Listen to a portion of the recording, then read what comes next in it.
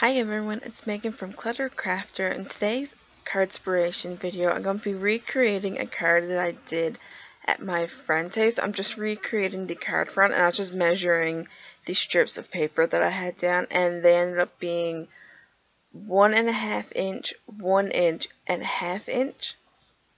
I'm not quite sure what paper pad I used for the papers, but if I remember, I will put it in the description below. I got the paper pad at Dollarama.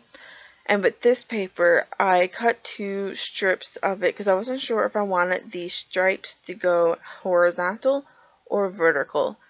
So there I was just playing around with strips I wanted. And I ended up choosing the vertical stripes on the paper. It's kind of hard to see, but you'll see it better on the pictures I have at the end of the video and I'm using my double-sided tear tape to adhere down the pieces of paper on the front. I wanted to do um, a male version of this card because I don't really make any like boy cards. It's usually um, more feminine, I would say. So I wanted to make a more masculine card because I do have a nephew. Uh, so like I'd like to have some cards on hand for his birthday or something like that.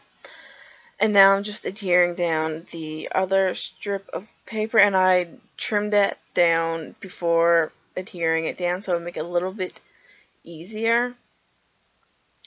And then after this I go back and try to figure if I wanted these stripes vertical or horizontal and I had actually texted my friend to uh, see what she thought would look better and we both decided to go with the uh, stripes being vertical and I'm just adhering that down again with my double-sided tear tape and trimming that off. If I had it back I would have stamped my sentiment first before adding the baker's twine because the baker's twine actually got in the way of my stamping and I had to do a double stamping of uh, the sentiment I used and I decided to go with a red and white baker's twine.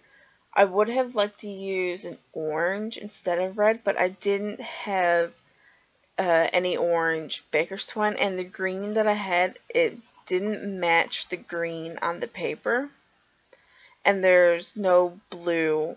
It's more of a teal on the paper so I didn't choose the blue baker's twine either. But the red looks really nice with it.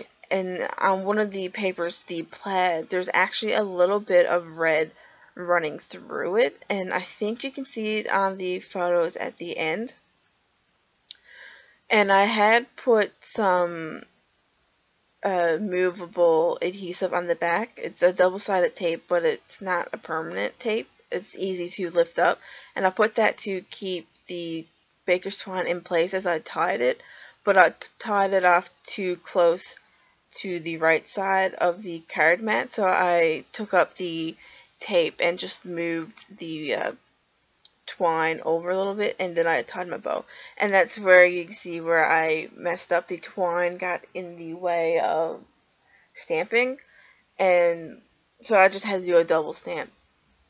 And here I'm just figuring out what card base I wanted to put the mat on and I decided to go with a kraft color card base. I thought that looked the best the white kind of just washed it out a little bit.